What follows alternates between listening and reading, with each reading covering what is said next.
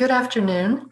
I'm Amy Poteet, Associate Professor of Political Science and co-director of the Loyola Sustainability Research Center at Concordia University. It is my pleasure to welcome you to today's webinar, Solve Climate by 2030, Building a Greener Montreal Together. Today's event is co-sponsored by four units at Concordia University, Fourth Space, the Department of Education, the Loyola College for Diversity and Sustainability, and the Loyola Sustainability Research Center.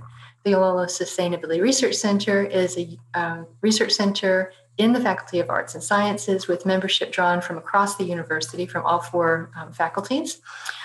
Um, we are devoted to promoting transdisciplinary research, bridging the social and natural sciences, the humanities and engineering, art and design.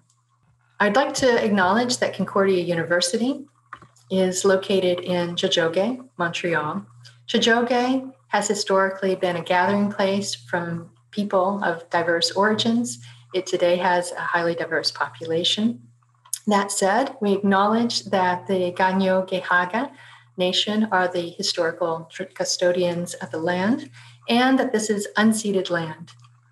It has become a ritual to acknowledge the unceded nature of the land in Montreal and Tiohtià:ke when we are um, beginning events. We oftentimes read that territorial acknowledgement or make the statement and simply move on without dwelling on it. I'd like to invite people to think about what it means to say that this university, that we are located on unceded land. Today's webinar is part of our regular seminar series on sustainability it is also part of a special series of global dialogues to solve climate by 2030. We have two facilitators for today's event, Dr. Ayaz Naseem and Paul Lott. I'm going to briefly introduce them and then hand it over to them.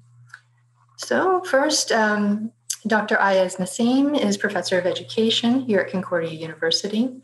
His research, which has been extensively funded by SSHRC and other external agencies, reported in numerous articles and books, focuses on the relationship between social media and education and a set of themes that one might group together as elements of social sustainability. These include peace, radicalization, minority representation, and environmental sustainability. His books include Scientism and Education with Emery J. Hyslop Margison, education, gendered citizenship in Pakistan, and representation of minorities in textbooks, international comparative perspectives, which is co-edited with Adeela Arshad Ayaz, who's also on our panel today, and Jesus Rodriguez Rodriguez. Our second facilitator for today is Paul Lott, who is currently completing his master's degree here at Concordia University in Educational Studies with a focus on environmental education. Paul spent nearly a decade traveling and teaching abroad in Australia, Vietnam, and Taiwan, and is now a kids running coach here in Montreal. Paul is an ultra endurance athlete and published writer who shares the stories of marginalized members of the running community in an effort to make the outdoors more inclusive and culturally diverse. With that, let me now hand things over to Ayaz, who will begin the webinar. Thank you. Thank you, Amy. Thanks uh, for the introduction. Uh, I'll, I'll briefly introduce uh, and you know say a few words about this webinar series. It's a part of a larger project which will run for the next five years. Doctors uh, Arshad Ayaz and, uh, uh, and, and Peter Graham of LCDS and DOE are partnering with an initiative called Solve Climate by 2030.org, which is led by the Bard Center for Environmental Policy. By joining this global initiative, they're connecting Concordia University to about 100 universities in 50 different countries. So it has a very wide reach. This webinar um, is based on the Freirean idea of consciousness raising, along with highlighting local solutions to environmental problems. And the series will create a repository of local environmental problems and solutions which can be looked up by students in, uh, in at least 50 different countries, if not more. At a later stage, there might be a possibility of having an inter-student uh, dialogue from different countries. Uh, this uh, series is also being supplemented by an initiative called hashtag make Make Climate a class where teachers from participating universities will dedicate at least one hour of their class time to discuss environmental issues and problems. I've been also I've also been asked to to introduce one of our speakers today. That is Dr. Adeela Arshad who is an associate professor of educational studies at the Department of Education, Concordia University.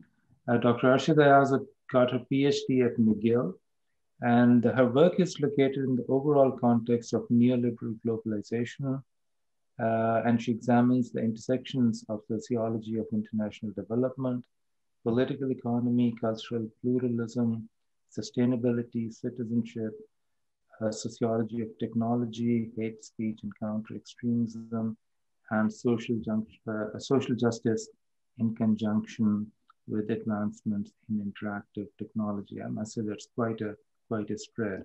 In her previous life, she worked as an anthropologist and worked extensively with the United Nations and the related NGOs in the development sector. She's uh, published widely and she's been funded widely, which is, which is amazing. Uh, she's a fellow of Loyola College for Diversity and Sustainability and the Simone de Beauvoir uh, Institute at Concordia. And she's also a founding member of the Educational Innovation Lab at the Aga Khan Global Center for Pluralism. I can go on, but I think I'll stop here and Paul can introduce the other two speakers. Thank you. Our first speaker today will be uh, Peter Graham. He's a professor at Concordia University in Montreal, whose academic focus is grounded in sustainability. He holds a PhD from Queen's University in Ontario. And Peter's love of nature and quest for sustainability extends literally to his front door. His front yard and naturalized garden, garden garnered considerable criticism from his neighbors, which drew him into a battle against city hall's unsustainable bylaws surrounding lawn care and maintenance. He ultimately won the fight, which changed the laws to allow for naturalized gardens in his community. So we are happy to welcome Peter today uh, to share his story with us. And also we have um, Anthony Garoufalis Auger. Anthony is a Montreal-based climate emergency organizer and public affairs strategist. He works his work focuses on shifting the climate discourse from incrementalism to emergency mode action in Canada. He is a co-founder of Extinction Rebellion Quebec and an initiator for the Climate Aviation Coalition, a pan-Canada coalition focused on reducing air travel to tackle emissions from that sector. He also sits on the board of directors at Rapid Decarbonization Group, he is presently the Quebec liaison of the Climate Emergency Unit, a newly established Canadian organization fighting for a World War II scale economic and social mobilization to address the climate crisis at emergency speed. So we also welcome Anthony to our conversation today. Thank you, Anthony. Okay, we have a short introductory video uh, to situate this uh, webinar series. Welcome to the Solve Climate Global Dialogues. You're participating in one of 125 events held across the planet, including in almost all 50 US states, part of a global project called Solve Climate by 2030. My name is Eben Goodstein, and I'm an economist and director of the graduate programs in sustainability at Bard College in New York, the lead organizer for Solve Climate.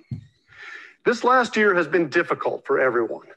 As the world looks forward to recovery from COVID, we are focusing tonight on the most important question facing humanity what can we do in this year in our regions to help solve climate change while supporting struggling communities that have faced widespread loss of life, economic disaster, and joblessness? Worldwide, from Australia to Kyrgyzstan, from Colombia to Malaysia, and from South Carolina to South Africa, Solve Climate audiences are hearing from local experts and young leaders about concrete steps that can really help nations solve climate change while creating much needed jobs and incomes for everybody. The year 2020 was one of the two hottest years in human history, bringing with it massive forest and grassland fires, record breaking storms and hurricanes, and relentless rising seas. Solving climate is the challenge which the human species must now face. There's hope for the future. Solutions have continued to advance. This year, China committed to building a carbon neutral economy while the US rejoined the Paris Agreement. Solar, wind, and battery prices continue to fall while major car companies have been rushing to electrify the global fleet. Worldwide, movements for Black Lives Matter and Me Too are leading in bringing much delayed and urgently needed justice to the world. Time is short. We have until 2030, 10 years to solve climate. We can get a lot done in this decade. We have the solutions, but only if we focus the world on climate solutions and justice, and then do the work we have to do in our own cities and regions. For students listening, you are the leaders. Without you, the future we envision will not come. I'm asking tonight for your help. We're going to discover powerful ideas for climate solutions and climate justice and how you can be a part of the solution. But this message must reach beyond those of us who are listening right now. Would you ask all your teachers this week in every subject to make climate a class? The teacher can assign tonight's webinars homework for the students and then afterwards have a one class period discussion. And we mean every subject from art to engineering, psychology to business, dance to chemistry. Teachers don't need to be a climate expert to lead a discussion about climate change. The Solve Climate Project has easy to use teacher's guides in nearly every subject and in three languages to help teachers make climate relevant to their class. It only takes courage. Don't take no for an answer. Ask them, why not? This is your future. You'll be surprised how many teachers will say yes and thank you. Imagine you, thousands of leaders like you around the world asking their teachers once every school term to make climate a class. That means every term going forwards, hundreds of thousands, millions of students worldwide in their classes talking about climate solutions.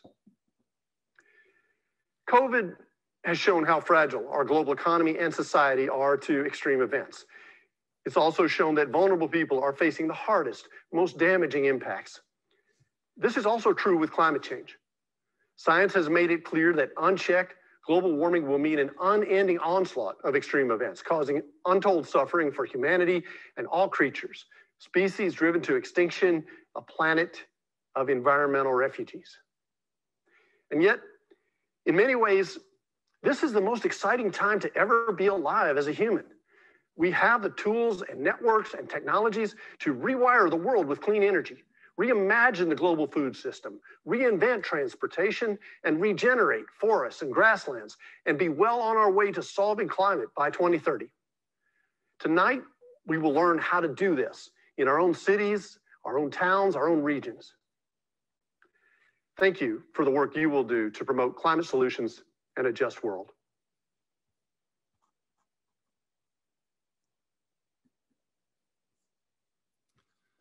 So if we think about how to solve the climate emergency, it only makes sense to first ask the question, what exactly has caused that emergency?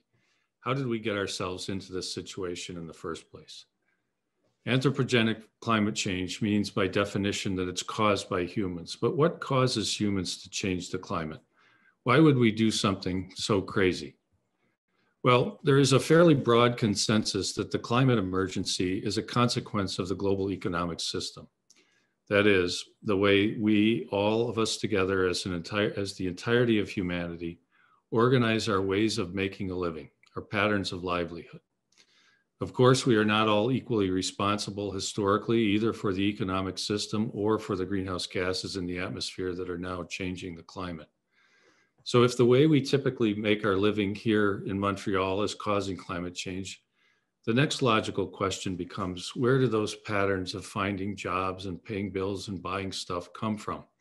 And how can we change those patterns to not cause the climate to change?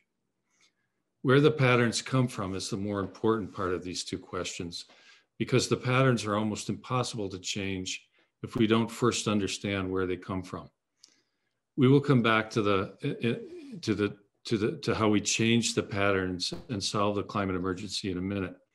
But first, the answer to the question of where the patterns come from is for the most part, we inherit them.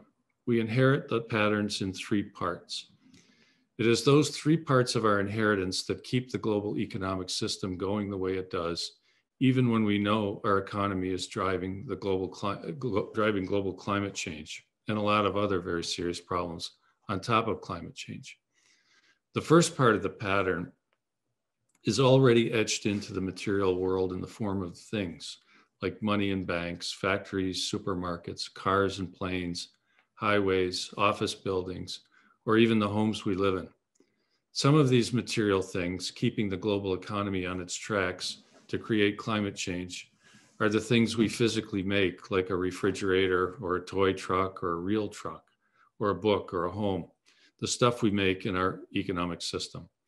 But some of the other parts of the global economy we make only with our minds. Buddhists say with our thoughts we make the world, but it is important not to forget that with the world we make our thoughts too. If you think of a forest or oil in the ground or fish in the ocean, you might notice that just by thinking of those things, by using the language, metaphors, frames, and other cognitive tools we've inherited, we change those things. We change those things with our inheritance because they become resources instead of something else. They were not always resources. People used to inherit the things we now take for resources as their relatives, for example or as a symbol of a reciprocal social obligation. I give this thing and expect you may one day return the favor or some other meeting. Today, we inherit things, almost anything you can think of, as an economic thing on standby, just waiting to become something else, like a tree to become paper to write on, or, or oil in the ground to become gasoline in your, in your car tank, or a fish in the ocean to become dinner on your plate. So, the first part of the pattern is the world we perceive, think, and feel about, but also the world that becomes part of our own cognitive practices as an economic world. The next part of the pattern is in the ways in which we put those material things into practice, our daily routine behaviors. We are all using our screen technologies right now to communicate. I'm speaking to you through a microphone, a speaker, and a screen. And we have all learned how to use those things. And we've also learned what are the right things to do and what are the wrong things to do. We learn how to find a job and how to do that job. We don't invent those behaviors or practices from scratch, we inherit them. We learn how to act in the world by watching other people, the people who were already in the world when we arrived we see how they act in the world in particular ways and we copy them because we all want to fit in with the people around us. The second part of the pattern is the habits and routine behaviors we inherit, our actions. The last part of the pattern of the global economic system we inherit is the ideas and the various other cultural and cognitive tools we use to make sense of both the things in the world and our behavior that puts those things into the practice of the global economy.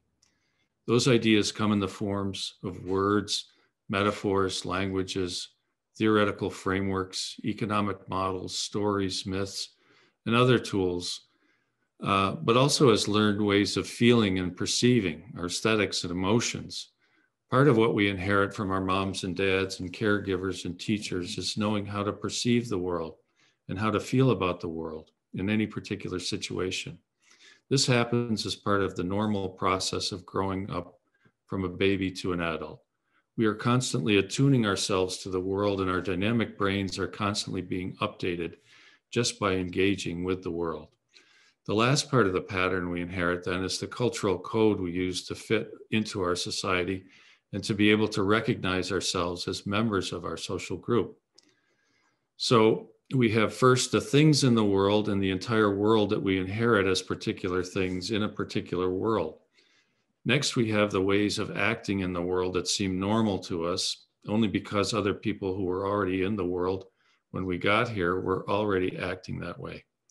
Finally, we have a bunch of tools we also inherited, like language, ideas, stories, laws, social norms, values, and so on, that we use to keep our social world going in the same pattern. So, if we want to solve global climate change, we have to basically stop inheriting that pattern that has gotten us into this mess of climate change. We have to refuse that inheritance. Now, that might sound pretty easy, but actually, it's very, very hard to do. That's because the same tools we use to keep the world working in the same pattern are the same tools we use to tell us who we are. We use those tools to answer questions like Who am I? What is a forest? What is a person? What is a fish or a refrigerator or even our planet? We do need to change those tools though. Otherwise, the same pattern that brought us into the climate emergency will keep bringing us into other emergencies, like the biodiversity emergency, or the pollution emergency, or the pandemic emergency. The history of putting our tools into practice is not a pretty picture, even though those same tools give us lots of alibis to make us forget about how badly they are really working.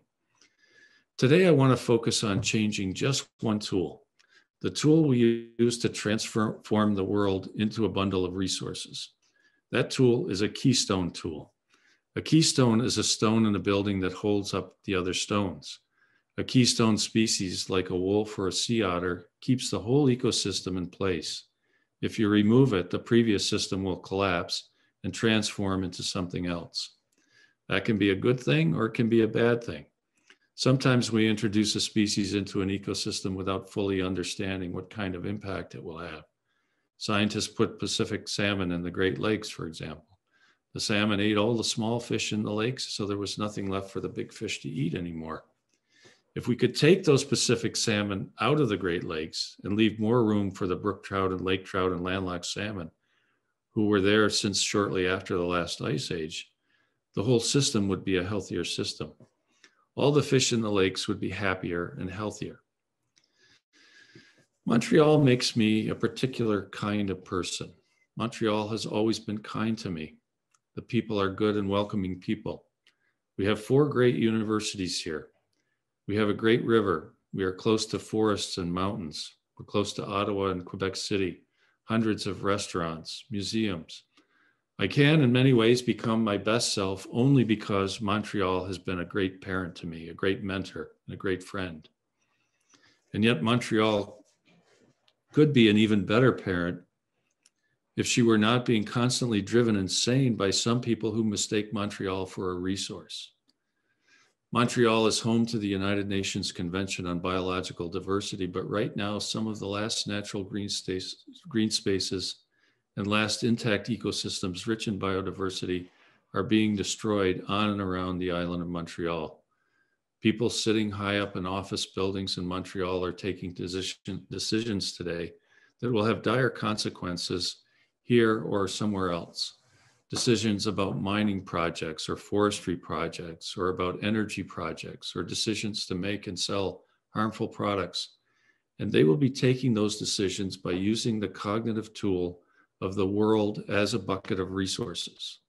When we drive the people and things who make us who we are insane, it generally does not turn out very well. It does not help us. It hurts us, especially in the long run. If there is one first important step that we all need to take to solve the climate emergency, I think that first step must be to begin to think of the world as our parent, as our mentor, and our friend, and not as our slave or our enemy not as a potential profit on a balance sheet. We need to understand that we can never become our best selves when we are in a war, and especially when we are in a war with that which ultimately determines who we can become. To solve the climate emergency, we need to rethink our collective inheritance to become our best selves and our best world. Thank you. So, hello, everybody. I think Peter kind of nailed it, and my talk is uh, in some ways a continuation of what Peter said, and not a surprise. We collaborate and we write together on this important issue. We teach together on this thing. So, given that I have only a short time, I will highlight three important points related to the environmental problems. First, I'll highlight the need to understand the root causes of global environmental problems, uh, especially the limits of our knowledge to solve environmental issues and the need to expand our knowledge base. Uh, second, I'll cautious, and that's uh, because we are doing this activity around the globe, I'll caution focusing too much on local solutions at the cost of ignoring global social and environmental justice. The first two part of my talks address the limits of our knowledge and the solutions we seek within the dominant knowledge framework.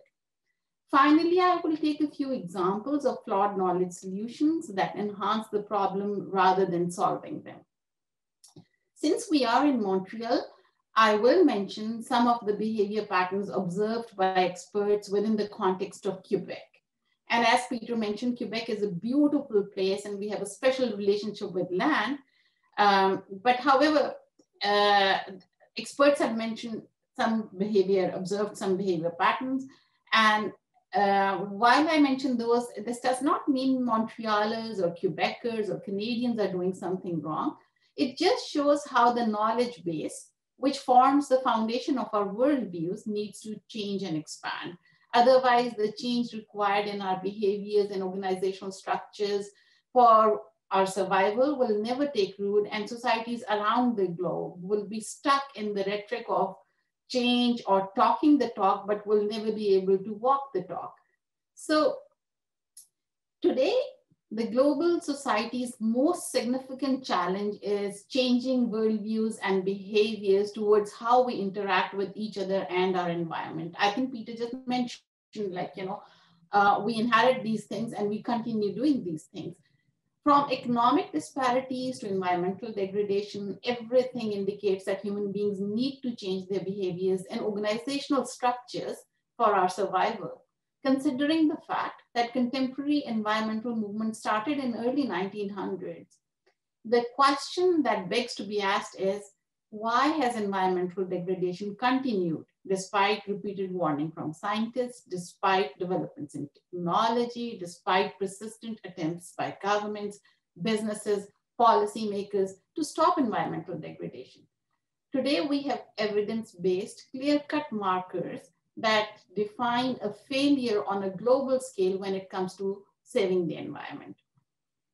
For example, in 2018, the Intergovernmental Science Policy Platform on Biodiversity and Ecosystem Services reported that 75% of Earth land areas are degraded, which undermine the well-being of 3.2 billion people, which is almost half the humanity.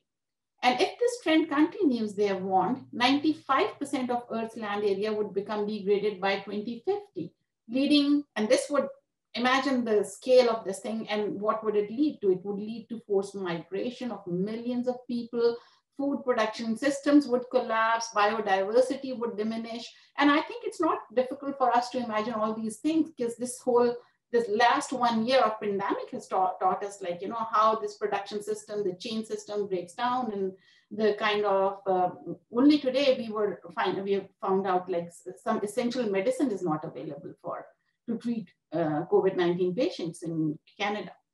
So perhaps it is time to question our very knowledge base from which we draw solutions to problems. And I think decolonial theory is a very helpful theory in showing us the limits of our knowledge. Gayatri Spivak talks about worlding of the West, meaning the whole world, West is imposed on the world as the world. So worlding of the West has led to the dominance of Western knowledge system.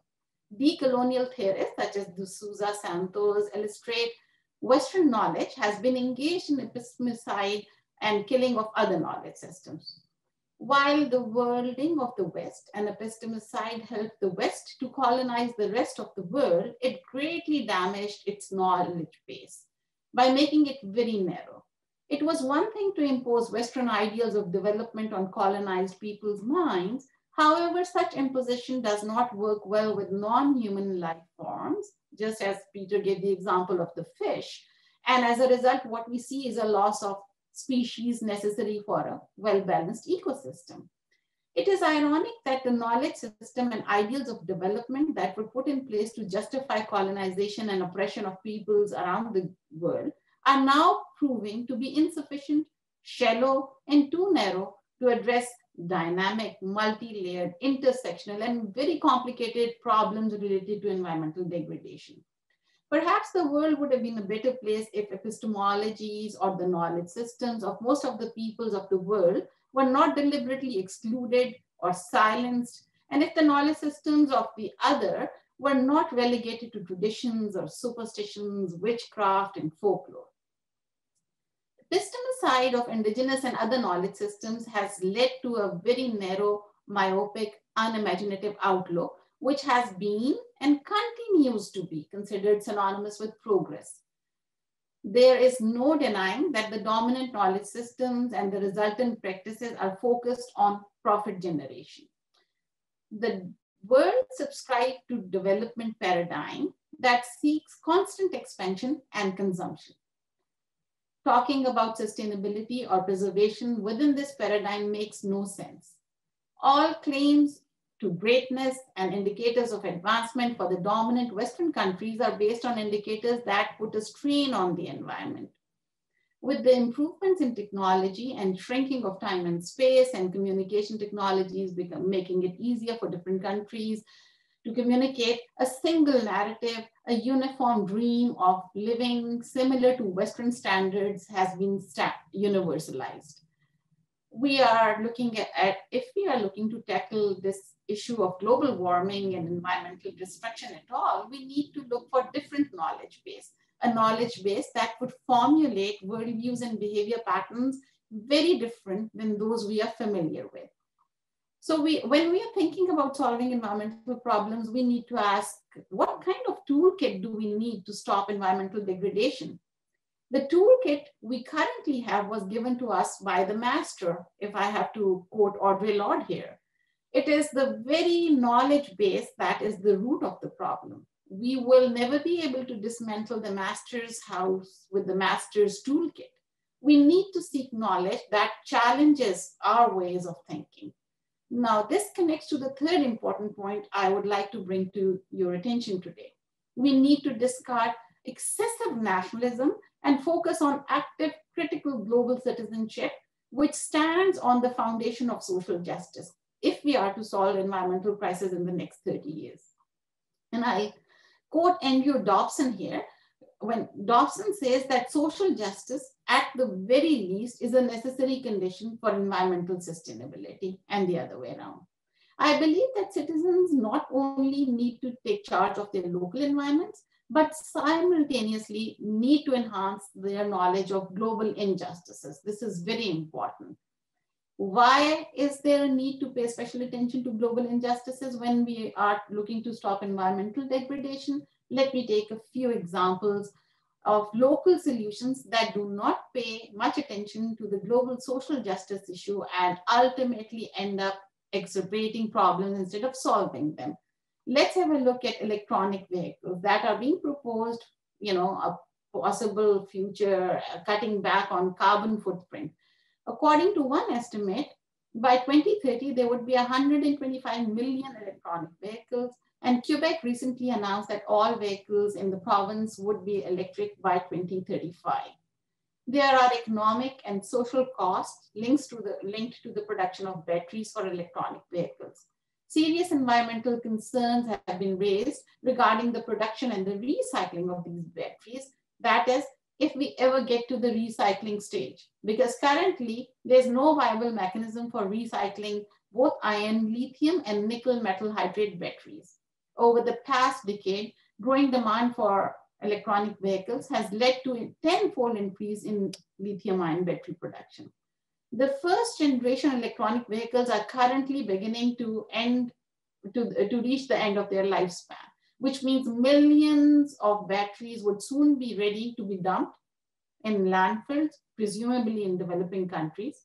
Some NGOs have raised concerns that multi-million metric ton heap of used batteries would end up in trash. Now, production, consumption, and recycling of these batteries is not as simple as it's being advocated by the industry. Of course, in this short talk, I cannot cover all aspects, but let me briefly try and explain how electronic vehicles as a solution leads to environmental and social justice problems globally. The batteries needed for electronic vehicles rely on rare minerals, and we'll just talk about cobalt and lithium, there are others as well. So nearly 50% of world's cobalt reserves are in Democratic Republic of Congo its extraction is tied to armed conflict. illegal mining, human rights abuse, and harmful environmental practices.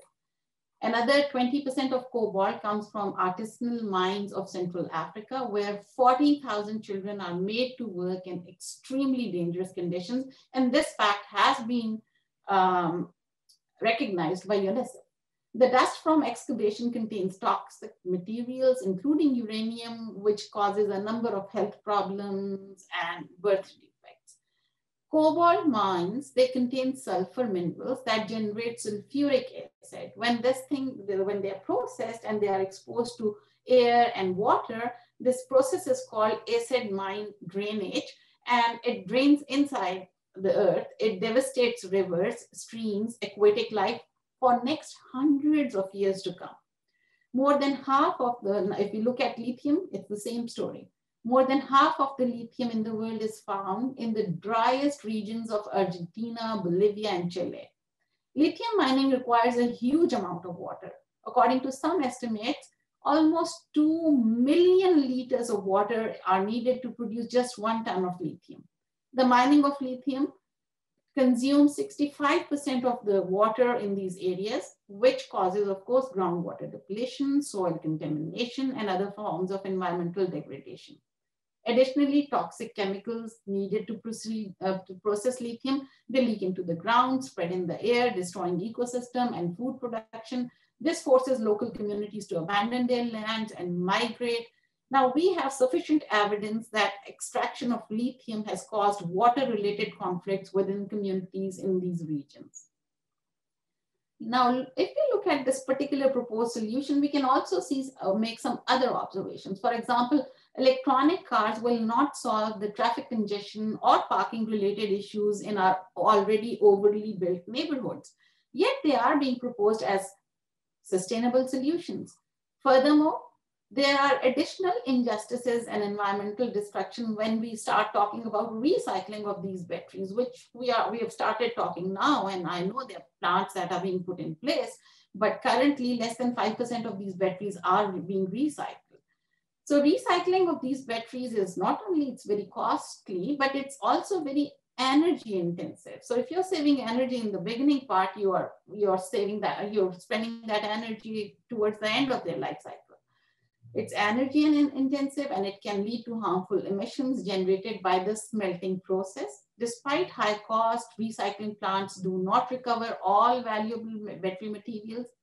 Additionally, as is in the making stage, batteries can leak dangerous materials, cobalt, nickel, manganese, contaminating, contaminating soil and groundwater, threatening ecosystems, and of course, human health during the recycling.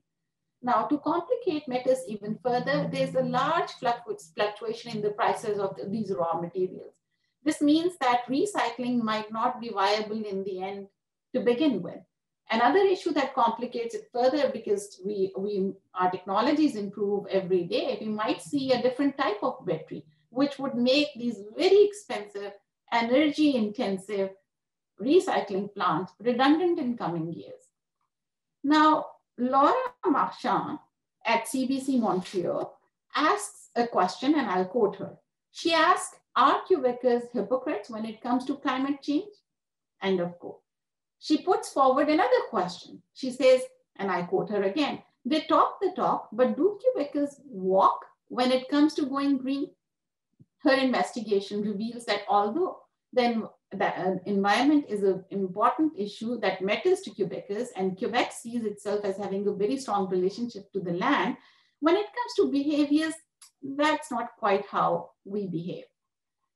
Professor Pierre-Olivier Pineau, uh, the chair of energy sector management at HEC Montreal, mentions the fact that while Quebec is the province with lowest per capita uh, emissions, it is largely due to the fact that provinces' electricity is produced uh, without fossil fuels and not because Quebecers are inherently more environmentally friendly.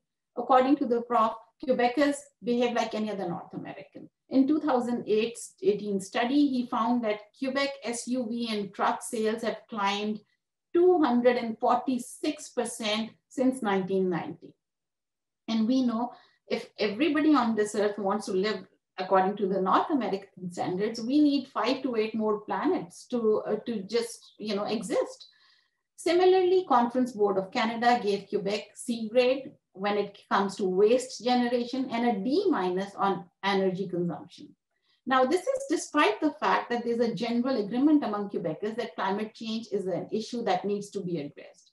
Many people, including Laura Marchand, um, ask, why is that so?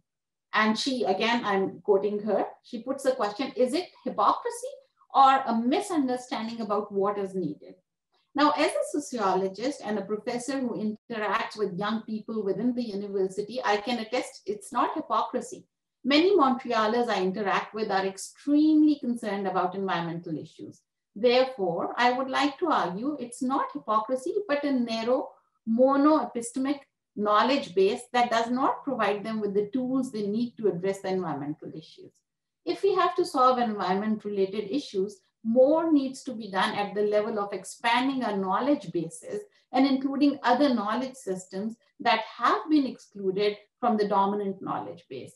What we need is an ecology of knowledge systems to tackle ecological problems that we are facing today. I'm going to stop here and then uh, after Anthony speaks, we I think we can take the questions. Thank you.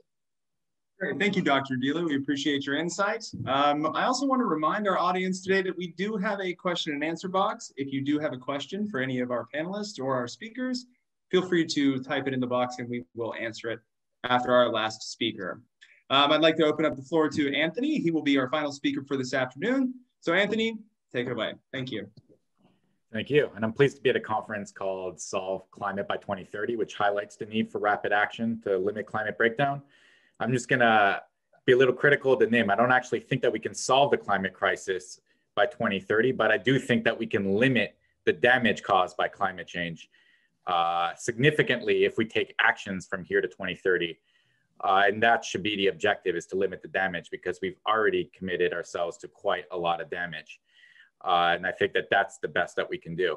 And I'm going to add to uh, what Peter said about understanding, because I agree that we need to understand the problem before we can find solutions. So uh, what I want to add is just understanding the scale of change needed. And this is pretty clear in the, the scientific literature about how quickly we need to act uh, in order to limit the damage of climate change. So according to the latest estimates by climate scientists published in the Nature Journal late last year, there's already a one in six chance that we've already committed ourselves to 1.5 degrees of warming above the pre-industrial level. That doesn't seem like a lot, maybe for some of you uh, that don't really understand the nuances of the temperature rises. But at that temperature rise, we're talking about most coral reefs bleaching out. Uh, and it's also considered a death sentence for low-lying nations and coastal cities because it locks in sea, sea level rise uh, that will basically wipe them out. Uh, according to the United Nations Environmental Program, current government pledges would commit us to three degrees of warming, above three degrees of warming. Uh, and if Canada in particular, there's there has been studies, but if every country were to adopt the same reduction target, and that's what I mean by pledges, is how much we've committed to reduce emissions by in the future. But if every country adopted Canada's reduction targets, we'd also go above three degrees of warming, which is considered apocalyptic. It's that nothing good comes out of that. Uh, however, that's what governments have pledged to do. And what they're actually doing is a different story. And when we look at what current measures are in place, or we look at the, the trend of business as usual, we're currently on course for about four or five degrees of warming. So here we're talking about apocalyptic crop failures. We're talking about mass starvation. And there's already leading scientists kind of ringing the alarm bell that this could mean billions of people dying. Uh, and I mean, the radical organization, the World Bank has even said that at four degrees of warming, uh, we're basically, it's beyond our capacity to adapt. Uh, and it would be a disastrous situation for humanity. Um, so uh, emissions, unfortunately, emissions continue to grow, as you likely know except for last year where emissions decreased by about 7% according to the global carbon budget. And interestingly, to, in order to limit uh, temperature rise below two degrees C, which is what governments agreed to do uh, in the Paris Agreement, as well as pursue efforts to try to limit it to 1.5. But that actually would require emissions to go down globally by about 7% a year. And that's 7% a year starting now and continuing till we reach about seven, uh, about wait until we reach zero emissions. Uh, so that gives you kind of an idea of the scale of the global challenge. 7% a year. That's what emissions were went down by last year when we had all of these measures in place to limit COVID. And that's the global average. So Canada is a wealthy country and one who's historically emitted more emissions than the global average, uh, has an obligation under the international accords that has signed on to to do more uh, to than the global average. Uh, so we're talking here about double digit reductions every year per year, starting now, if we want to keep temperatures below two degrees. Uh, so that's the scale of the challenge. Really, it's nothing short of radical and immediate cuts in greenhouse gas emissions will give us a chance of avoiding irreversible, because there are tipping points, and I suggest people read and try to understand uh, a bit of the climate science around these tipping points, but potentially irreversible cataclysmic climate breakdown. So what is to be done and what is to be done locally if, uh, and what kind of solutions can we put in locally uh, at the, yeah, I guess municipal and regional level uh, that try to address this, this gargantuan problem. So I think, yeah, it is important first to, for all governments act and a municipal, and, and I also agree that, you know, municipalities have an important role to play in reducing emissions. But I want to highlight that without federal government management and an all out government approach, uh, we're very likely not going to be able to reduce emissions at the scale that's called for by the science. And what's likely needed is something in the order of what the government has done during World War II on the home front when it mobilized the entire society and the entire economy in the face uh, of the war. And at that point, there were massive changes in all of society in terms of dietary change, uh, the types of jobs that were created uh, that are, provide interesting lessons for how we could address climate change right now. Uh, but I'm going to focus on what we could push municipalities to do in the rest of the time that I have. Uh, but I think what's one of the approaches I want to take is I think municipalities have been you know, signing on to these declarations for climate, the same that they declared a climate emergency. They've been putting out climate plans, you know, with some nice language, but there are inconsistencies. And I think that part of a strategy to kind of open people's minds about what's needed for these large scale transformation is to really call out municipal governments on these on these inconsistencies to show that we're not really taking the climate science that seriously. Uh, and here I'm going to focus on some of the lesser known uh, lesser known issues and some of the biggest sources of CO2s that we're not talking about, and that's aviation and food. And I'm focusing a bit on this because it's a bit of the that's part of my area of focus in the work that I do. Uh, so we need to limit air travel. Air travel, even though it went down during COVID by about 66% in 2000, has continuously continued to grow uh, over the past decades and represents about 2% of global CO2 emissions. However, when you consider non-greenhouse gas warming effects, like the clouds that are produced at, at the, the exhaust of the, the planes, it actually represents about 5% of the global warming effect. Uh, so to put that in perspective, if aviation was a country, it would rank about seventh. Uh, it would rank about the seventh larger emitter of greenhouse gas emissions, producing about the amount that the entire economy of Germany produces. So had we actually respected the binding agreement on the first binding international binding agreement on climate change, uh, the Kyoto Protocol, emissions in, from aviation would have gone down by over 20% below 1990 levels. And that interestingly would about be the amount of, would be about the same amount of planes that we currently have right now with COVID had we respected the Kyoto Protocol. And the reason is because we actually have to reduce the number of planes to address aviation. And while there's a lot of greenwashing out there about aviation being able to be green, right now, even if, even if the aviation industry adopted all of the best technological innovations for, for increasing fuel efficiency and decreasing the emissions intensity of aviation of planes, uh, emissions would continue to grow over the next decades because we continue to put more planes in the sky. So since 1990, we've actually doubled the amount of planes and the emissions have actually more than more than doubled uh, over that period. So about every 30 years, we double the amount of planes and it comes with a corresponding doubling of emissions. So this is a huge problem and one that we're not talking about. And there's also an injustice here because it's estimated that only about 10% of the global population has ever flown. And this is this global 10%, which is mostly in rich countries and affluent individuals. Uh, yeah, they're a very small uh, portion of the population responsible for quite a lot of warming. So this 90% of the rest of the world is not responsible uh, for this warming and is suffering the consequences. So what can be done at the municipal level? Uh, so we need to call for radically reducing and rapidly reducing the number of flights. Uh, so Montreal, there's a couple of things I can do. One is it has to say the truth about the industry's impact on climate change. It has not acknowledged, but neither has the federal government, and probably most governments in Canada acknowledge the significant role that aviation plays in warming the planet. And this is probably out of fear and cowardice, but this needs to be called out, and they need to show leadership and actually talk about this problem. Uh, and that's the first step. And then once you acknowledge that the problem is there, then we need to address it.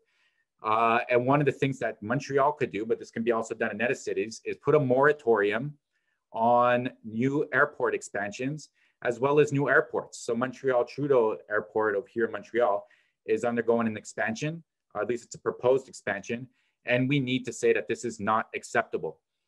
Uh, and cities need to, be, to begin developing economic plans to reduce our dependency on international tourism. And in the case of Montreal, which is an aeronautic hub, to come up with solutions uh, that address the needs of workers who will be impacted uh, by this shift. Uh, and if you're more interested in this issue, then I recommend checking out the, the work of the Stay Grounded Network, which is an international network of groups that work on this issue. And we need to also address diets. I won't spend too much time on this, uh, but animal agriculture is responsible for 14.5% of global greenhouse gas, uh, greenhouse gas emissions. Uh, it's also a leading cause of deforestation.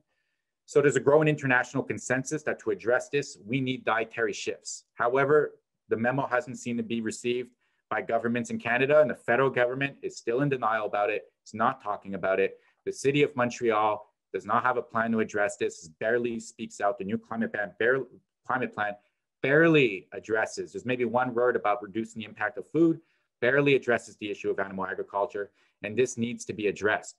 Uh, and one of the things that the city of Montreal can do is it could sign on to the Good, Good Food Cities Declaration, which helps them commit to helping the shift in dietary trends towards more plant-based diets. City of Toronto signed on to it.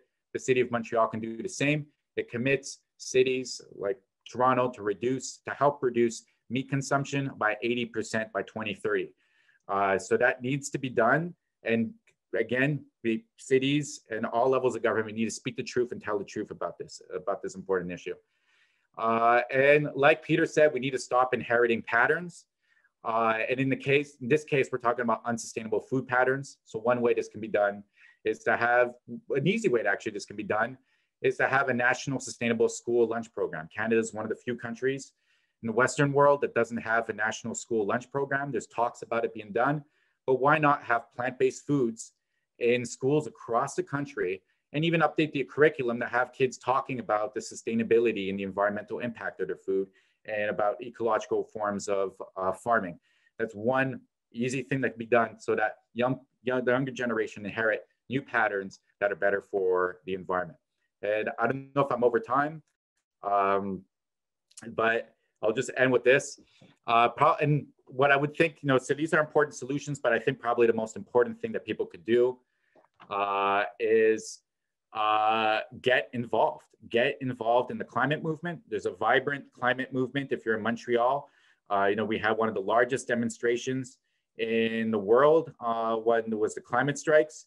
Uh, and it's not going away. And they're calling for radical immediate cuts in greenhouse gas emissions. And they're also calling for an ecological reform of our education system. So really not just one hour a, a semester, but the, the entire curriculum take into account sustainability. So we're talking about complete reform. And this is being called for by a large coalition of students. So I really encourage people to get involved in their local groups. If you're an adult, maybe get involved in direct action groups and civil disobedient groups like Extinction Rebellion, which are really at the forefront of pushing for radical and steep cuts in emissions in a World War II scale economic and social mobilization. Uh, and I guess what I will end with is really it's important that we don't take no as an answer, that we don't compromise, and that we push for what the climate says is necessary. The reason why we're not talking about aviation and we're not talking about food is because of fear. We're afraid of criticism. We're afraid of the political backlash that'll come. Uh, we need to overcome this fear and we need to speak the truth. And that's the only way that people are actually going to be informed. But it's also about the problem and do something about it. But also, it's there's no point saying anything less than what is science, what the science is saying is necessary, because it only pushes it. It's only we're only losing time, and we're just guaranteeing that the that we're guaranteeing ourselves uh, failure if we do so. And I'll end it on that. Thank you very much, Anthony. That was a very informative and quite a sobering presentation. I appreciate that. Uh, we've had a few questions filter in um, in regards to the presentations. Um, if now is a good time, um, I'll go ahead and address one of the questions. Um, first, we have from James Grant. Uh, he's asked the question, why have we been relatively successful at solving the COVID pandemic and yet unsuccessful at solving climate change? Both are global in nature and require co cooperation. Now, if it's all right with the panel, I'd actually like to take this question because this relates directly to the research that I'm doing uh, in my grad studies. One of the things that I have realized through research is that we don't have or we're not fostering a capacity to care about each other. We talk a lot about the statistics, the facts, and honestly, these facts are scary. And most of the time, when we're presented with things that are terrifying, we run in the other direction.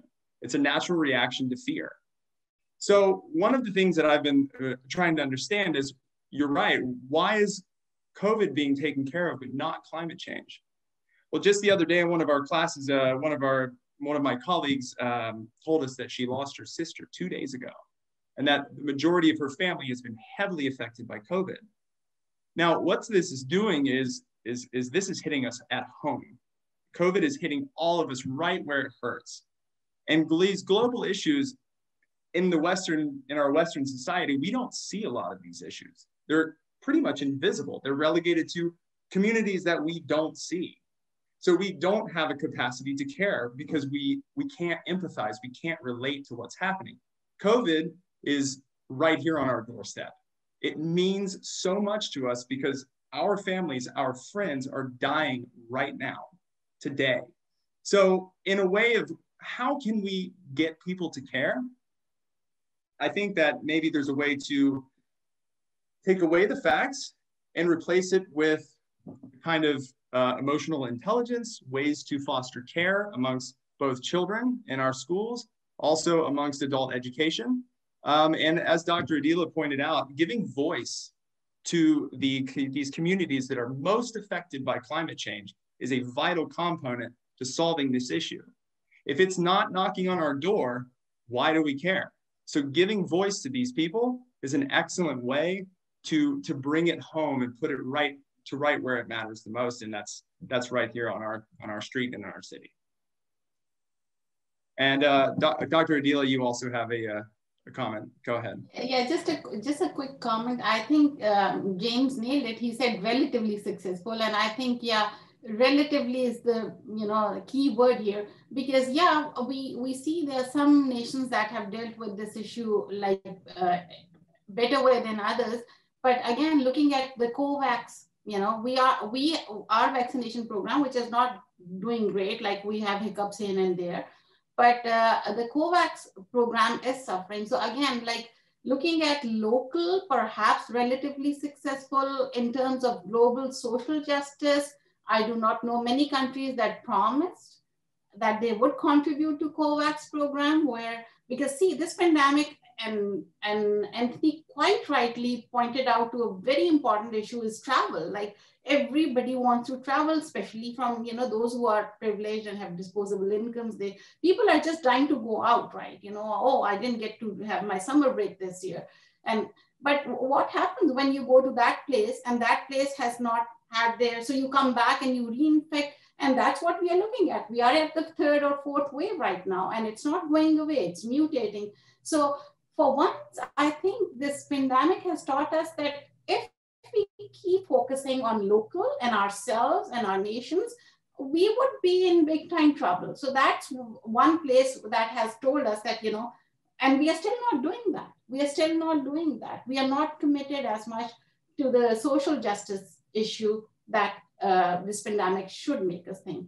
So I will stop here. I have two other questions from Pierre Alexander that I really need to address, but yeah. Great. Um, I'll go ahead and uh, open it up to, to Peter and then to Anthony. Y'all go ahead. I think Anthony was ahead of me, actually. Oh, you can go ahead, Peter. Well, I just wanted to point out that we haven't really solved uh, pandemics. Um, you know, when the Europeans arrived in North America, we had resistance to, to all these diseases for a reason.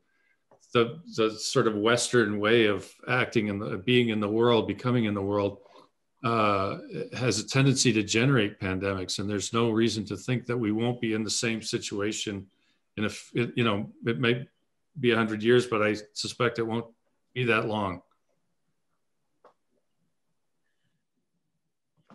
Thank you. Yeah, on the, pan- on the pandemic, I, I'm actually the opinion right now that I think from what we're seeing with the third wave, the number of cases in BC, uh, the new variant, the P1 variant, uh, and the yeah, growing number of cases across the country, we're not, we haven't really learned from the first and second waves about that. It's, and it's actually just kind of shocking that we've actually allowed the situation to get to the point where it is when we had the information like as of late December that these variants were going to become the dominant variants by the end of March, uh, early April. And it was our, the writing was on the wall.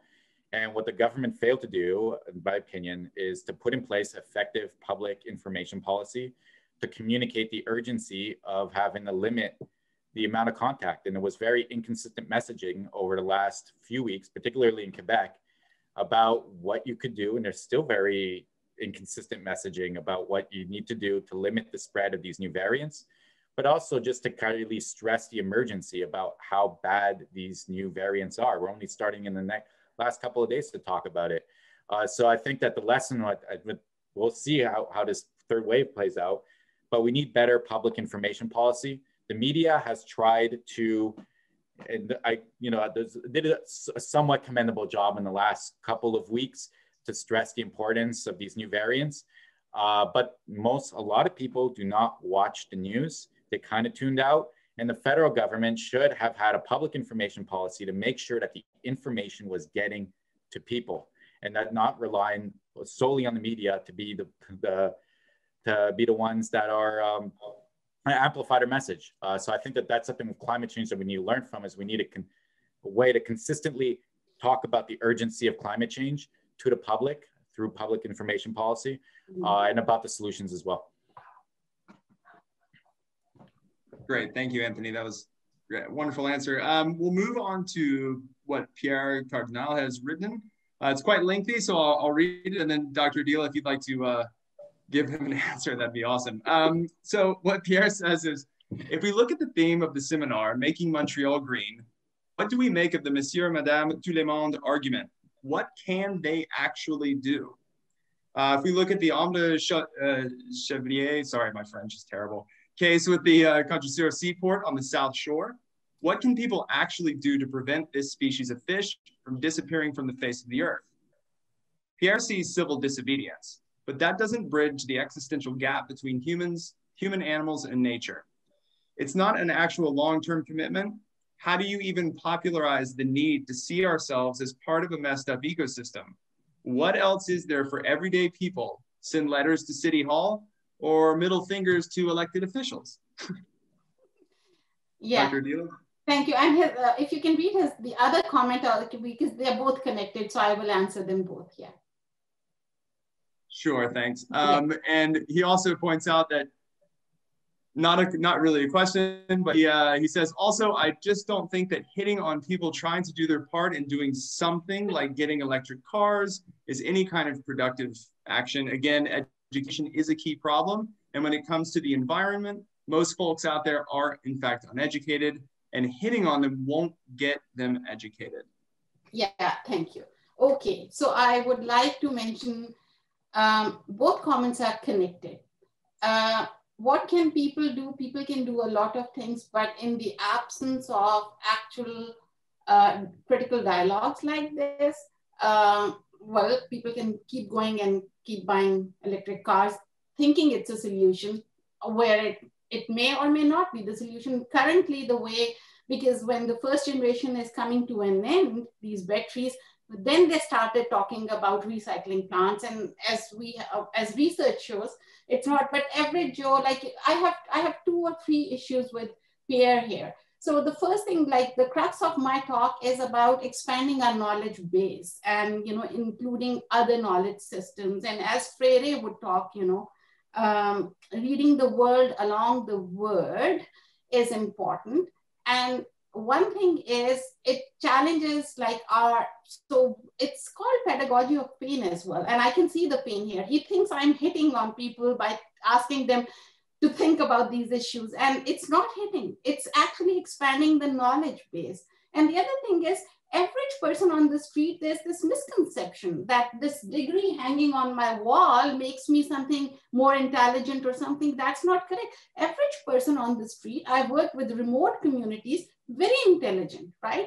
The only thing is, if those things are not being discussed then they are not on our horizon. And the kind of society we live in, Peter has talked about, you know, our ideas and the systems that we inherit, and we become a part of that. So my basic, basic argument is to expand the knowledge base. And that's where the problem is arising because you see that it's misconstrued as hitting. It's not hitting. It is expanding your knowledge base, but it's not easy. If you go and you do your research and you say like, what percentage of batteries recyclable, uh, cyclable, you would find Google hits 99%. Yes, theoretically what they're saying and they're telling you, oh, it's good, it's good. But that's theoretically, it is 99% recyclable under perfect conditions. But all those other conditions, they don't talk about that. So again, again and again, we are being duped by industry into selling things to us and we like buying things. We are now addicted to buying things, consuming things. And I'll tell you, what can citizens do? We can have a dialogue. I'll give you one example of something which is absolutely, absolutely useless. And this comes from a person who can actually stand and look at the flower for the whole day. And I'm hopelessly romantic when it comes to you know, uh, environment and beauty nature has created. I cannot, for the sake of God, understand the whole thing about cut flowers, okay? There's virtual trade of water. We don't, what people don't understand is one rose to grow takes around 8 to 13 liters of water, right? Again, it's a very developed word because, you know, it's, uh, but now it's, it's tricky because now we see a north and south and a south and north. So we have privileged classes everywhere. So upcoming economies and, and they, they start imitating the Western ideals and the Western way of life. So I'll just to give you one example, by 2027, the cut flower market would reach $41.1 billion. Currently, during pandemic, US alone spent $7.9 billion on cut flowers. What are cut flowers? You go to the market, you buy a bunch of flowers and you throw them out five days later.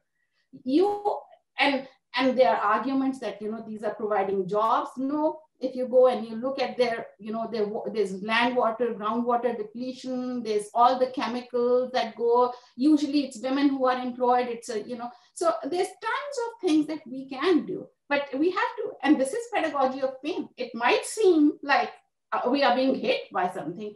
It's not hitting. If we have to do these things, as Anthony said, like we cannot, enough with all these things when we talk about uh, we can't hurt people, we can't feel. We are in a crisis right now. And if we're going to address crisis, it's going to be a pedagogy of pain. It's going to hurt all of us. We are all implicated. Anybody, one, any one of us who has more than two pair of shoes is a consumer. And I tell you, I have more than, I mean, my weather tells me I have to have like a summer and a winter, but uh, all of us are in it. So it's not hitting, it's just like, yeah, it's going to be painful. Yep. Thank you for clarifying that, Dr. Adeela. Uh, we have another question coming in from uh, Trevor Smith. Where did it go? Uh, Paul, there's uh, one in the comment uh, in the chat as well from uh, Adriana Lima Morazes. Great. Um, it's right in the beginning. Adriana, okay, great, thank you. Uh, how do how do you perceive the whole of Canadian companies in the extraction of resources international, like the case of Brazil and the mining industry? How should we hold these companies accountable for their actions? There were various mining dam collapses in Brazil recently, some of which were responsible by Canadian companies in the Brazilian soil. I'm asking this question because we must also recognize that companies in Canada can also pre be predatory, predatory towards the environment, even though it's not the Canadian territory. My name is Adriana and Adriana is writing us from Brazil. Great question. Thank you. In Brazil, one activist is being killed like, you know, every few hours. And Adriana, you're 100% correct. It's not only like making a company, a Canadian company, doesn't mean like, you know, that it cannot engage because it's a, companies are about profit making. We should understand that.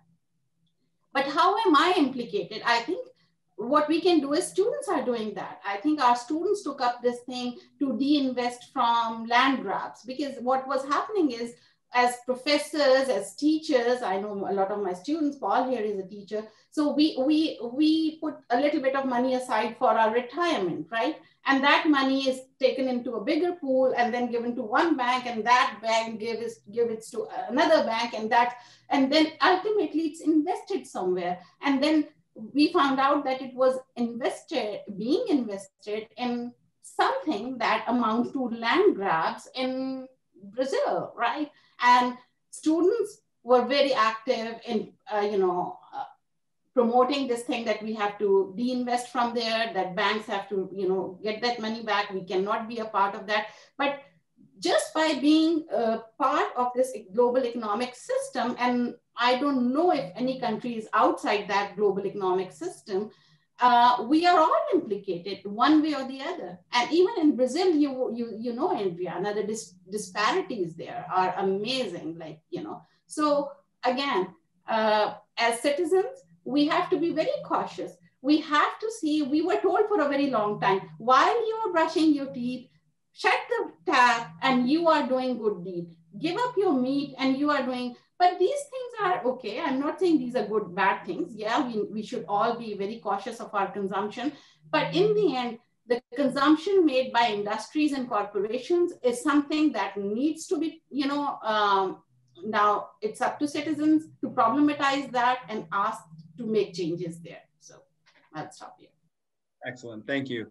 Um, we'll go to Peter and then to to uh, to Ayaz, uh, and then Unfortunately, we'll be out of time for today, but uh, we'll take it to Peter for his comments. Thanks, Peter.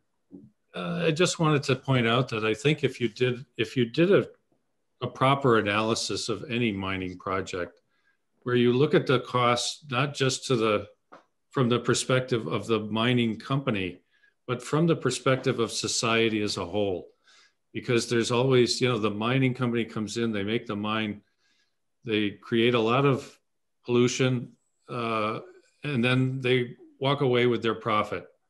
They leave the community with the toxic waste to clean up.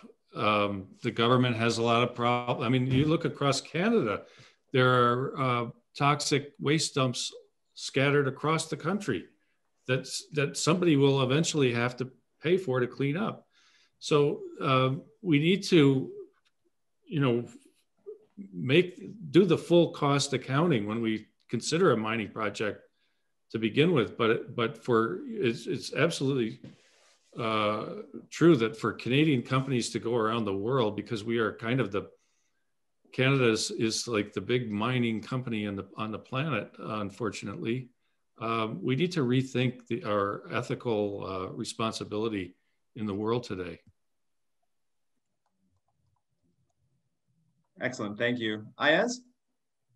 I'll just be very brief since we are running out of time. I, th I think one thing that comes out of this is that um, we should all all start by acknowledging our own complicity in where we are, each one of them, not only at the national level like Canada or the provincial or the city level, but each one of us is complicit in where we are with respect to the, to the environmental crisis. And I was just thinking that just as uh, Amy read out the, the territorial acknowledgement, if you could kind of come up with, uh, with a complicity acknowledgement and, and, and you know, especially in, on, in webinars and seminars uh, and such endeavors on environmental degradation, uh, we could we could start by saying that we are complicit in Brazil, in Congo, and wherever the, these companies are, because we are profiting from what they are doing, even if those profits are not getting to us directly.